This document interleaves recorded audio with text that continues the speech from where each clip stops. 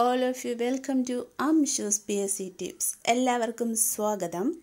ഇന്നത്തെ നമ്മുടെ class social science ആണ്. എച്ച് എസ് എ പ്രീവിയസ് നമ്മുടെ ചാനൽ ആദ്യമായി കാണുന്നവരാണെങ്കിൽ please subscribe our channel like share and enable the bell button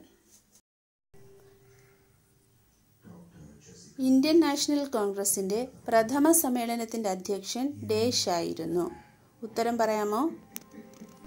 Answer W C Banerjee W C Banerjee next question തമിഴ്നാട്ടിലെ dash എന്ന സ്ഥലത്ത് ലിഗ്നൈറ്റ് നിക്ഷേപങ്ങളുണ്ട്.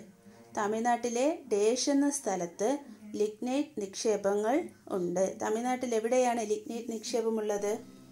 Answer Neyveli. Answer Neyveli. Next question Tipu Sultan Malabar മുഴുവനും ഇംഗ്ലീഷുകാർക്ക് വിട്ടുകൊടുത്തത് ഏത് ഉടമ്പടി പ്രകാരമാണ്. ടിപ്പു സുൽത്താൻ മലബാർ മുഴുവനും ഇംഗ്ലീഷുകാർക്ക് വിട്ടുകൊടുത്തത് ഏത് ഉടമ്പടി പ്രകാരമാണ്? ആൻസർ ശ്രീരംഗപട്ടണം ഉടമ്പടി. ശ്രീരംഗപട്ടണം ഉടമ്പടി. നെക്സ്റ്റ് വൺ ഭൂമിയുടെ ഏറ്റവും ഉള്ളിൽ സ്ഥിതി ചെയ്യുന്ന ഭാഗമാണ്. ഡേഷ് ഭൂമിയുടെ ഏറ്റവും ഉള്ളിൽ സ്ഥിതി ചെയ്യുന്ന ഭാഗമാണ് ഡേഷ്. ആൻസർ അകക്കാമ്പ് ഭൂമിയുടെ ഏറ്റവും ഉള്ളിലുള്ള ഭാഗമാണ് അകക്കാമ്പ് അകക്കാമ്പ് നെക്സ്റ്റ് ക്വസ്റ്റ്യൻ നോക്കാം. ഇറ്റലിയിൽ മുസോളിനി നയിച്ച രാഷ്ട്രീയ പ്രസ്ഥാനം ഡേഷ് എന്ന പേരിൽ അറിയപ്പെടുന്നു. ഇറ്റലിയിൽ മുസോളിനി നയിച്ച രാഷ്ട്രീയ പ്രസ്ഥാനം ഡേഷ് എന്ന പേരിൽ അറിയപ്പെടുന്നു.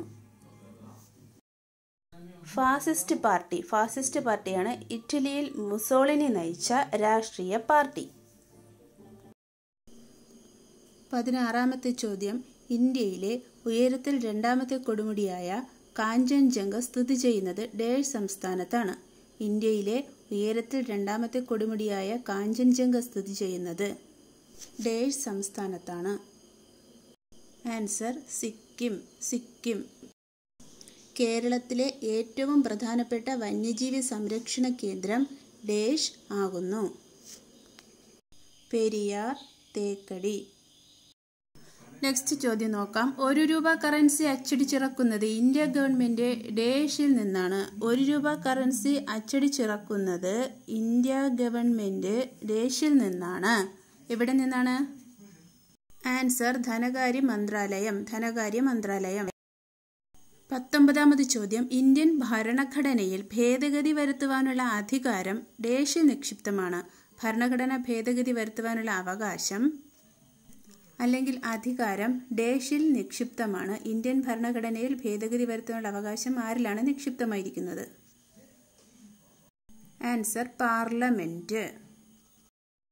ഇരുപത്. ആയിരത്തി തൊള്ളായിരത്തി അറുപത്തിനാല് ആയിരത്തി തൊള്ളായിരത്തി അറുപത്തി ആറിലെ ഇന്ത്യൻ എഡ്യൂക്കേഷൻ കമ്മീഷൻ ഡേഷ് എന്ന പേരിലും അറിയപ്പെടുന്നു.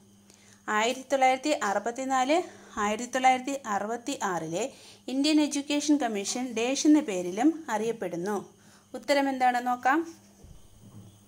Answer Kothari commission Kothari commission